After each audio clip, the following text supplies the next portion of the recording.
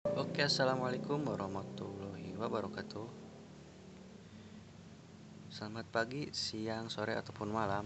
Kita kembali dalam Exact Project dengan admin Muhammad Ainudin. Kita membahas tentang soal atau permasalahan di gelombang berjalan. Langsung saja untuk contohnya, persamaan gelombang berjalan dalam suatu tali yang direntangkan adalah Y sama dengan 10 sin 2V dikali 100 T min 0,5 X dengan X dalam meter dan T dalam sekon. Kecepatan gelombang tersebut adalah, nah tulis diketahui Y-nya. Nih, dari sini kita kalikan 2 dikali 100 terus lagi 2 sin 2V dikali 100 200 V T min 0 kali 25 oh sorry. 1 V atau tulis saja VX nih ini satu salah. Selanjutnya dari sini kita dapatkan untuk persamaannya yaitu A sin omega T min KX nah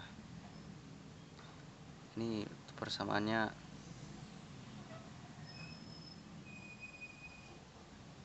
Dari sini kita dapat nilai omega dan K. Oke tulis lagi omega sama dengan 200 V. K nya sama dengan V. Untuk rumus kecepatan sendiri yaitu perkalian antara lambda dan frekuensi. Nah, langsung saja lambda yaitu 2V dikali frekuensi. Nah, lambdanya kan 200. Oh, sorry, omeganya 200. V sebenarnya 2V dikali frekuensi.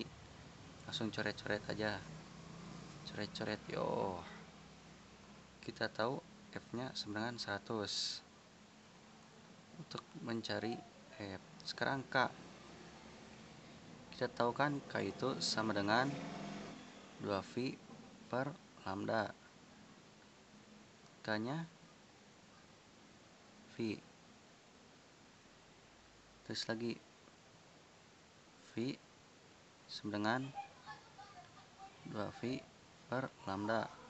Coret-coret lambda sama dengan 2